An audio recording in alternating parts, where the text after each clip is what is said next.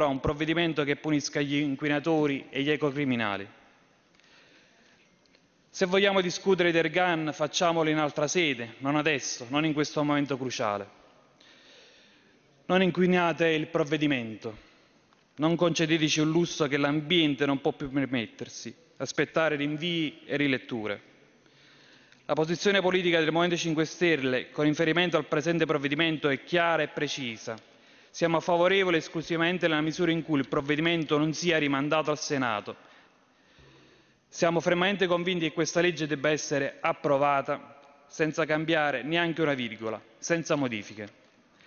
La soppressione la modifica o anche l'aggiunta di una sola parola al testo del provvedimento comporterebbe la necessità di un passaggio ulteriore al Senato e conseguentemente significherebbe dar attendere altro tempo per avere una soddisfacente tutela dell'ambiente che ci circonda.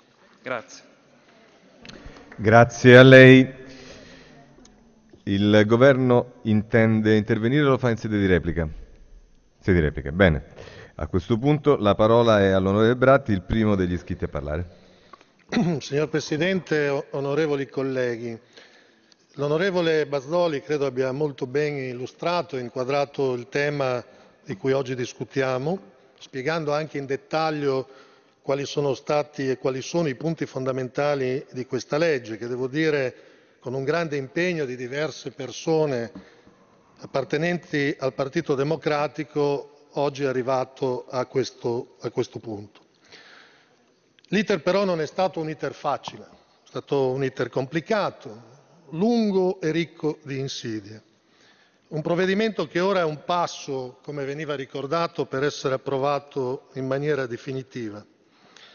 Il disegno di legge è stato sicuramente migliorato, credo, al Senato, nonostante sia stato introdotto un comma che riguarda la punibilità dell'uso della tecnica di perforazione nei fondali marini per la ricerca di idrocarburi, denominata airgun, una tecnica che oggi è praticata in diverse parti del mondo, che causa la sua invasività va certamente regolamentata attraverso un percorso di carattere amministrativo e non certamente andava in un provvedimento come quello in discussione oggi.